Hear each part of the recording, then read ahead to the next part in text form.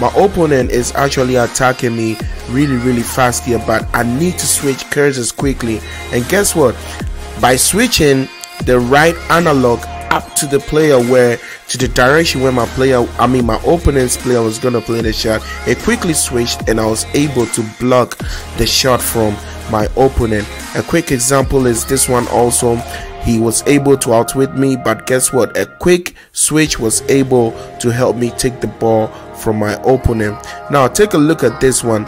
He is actually attacking me deep and he has actually moved from um, my cursed player. He is moving up. I need to really switch quickly to cover up that space before he finds that player. And guess what? Switching the right analog stick